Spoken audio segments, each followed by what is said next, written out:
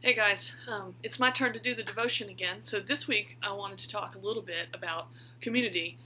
And the text that I'm using is 1 Peter 4 8 through 11. It reads like this Above all, love each other deeply, because love covers over a multitude of sins. Offer hospitality to one another without grumbling. Each of you should use whatever gift you have received to serve others as faithful stewards of God's grace in its various forms. If anyone speaks, they should do so as one who speaks the very words of God. If anyone serves, they should do so with the strength God provides, so that in all things God may be praised through Jesus Christ. To him be the glory and the power forever and ever. Amen.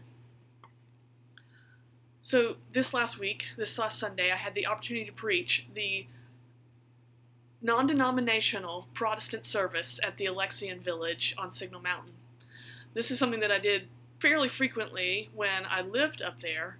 Um, this is something that each church that's up there takes a month of the year to preach uh, their service in the afternoon and then fills in for each other. Um, it's not something I've done since I moved down here, but one of the pastors up there, who is also in the United Methodist Church, uh, was taking some time off and called and asked if I could cover one of his Sundays. And so I did. And as I was preparing for that and thinking about it, I just I started to realize um, the importance of, of community. Now, we have um, learned a lot about what it means to be in community in, in different ways in the last several months. But this Sunday struck me as differently because it wasn't just uh, kind of scrambling to figure stuff out. It, it was truly supporting each other and loving one another and, and just living life together. Um, get moving into that space, they're taking precautions as they should be. Um, but seeing people that I haven't seen in several years and, and having the opportunity to just uh, share with them my life now and, and what's happening with Burks and um, hearing the stories of how they're handling uh, these things. And, and, it was just really uh, an exciting moment. Um, there were only two people in the room, and I was broadcast to the entire community. And I, I was wondering how many people I was impacting. And we look at the text, and it says, you know, if anyone speaks, they should speak, uh, do so as one who speaks the very words of God. And, and I was just prayerful that I, I know I know quite a few people there still, um, but most of them I've never met. Most of the people who live there are, are not people that I ministered to in the past or, or are not people that I had the opportunity to meet doing various community events there. And so uh, you know, this might be the first and only time they hear from me, and I, I pray that I would represent the community of the United Methodist Church well. You know, there's so much division right now uh, are so many things that we can argue about, so many things that we can stress about, and and some of those arguments are important. But I think there's nothing more important than recognizing God uh, as creator, God that created even the people we disagree with, and how to see God's presence in them. I love it. It says, Love each other deeply because love covers over a multitude of sins love each other deeply. Because it can cover over the things that we mess up as people. And that's that's a reality. That's something that that we we do as people you know? We're not perfect. And then each of you should use whatever gift you've received to serve others.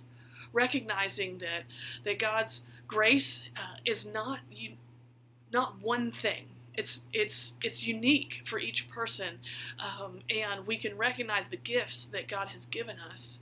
And it's not okay to say, well, you know, this person has this tradition, and so we need to keep doing that. The, the service at Alexian, it has um, one month it'll be the Presbyterians, and one month it's the Church of Christ, and they don't they don't use instruments, and the service is still beautiful, just voices without the piano, and and hearing a, a word from a different tradition, and uh, yeah, we can have conversations about why those things are different and who does what and, and why, and and talk about what's right and wrong. But if we just love each other and use our gifts for God's good and to pray that when we use those things that um, God will will speak through us And, and if we serve using those gifts, that, that God will give us the strength to meet people's needs.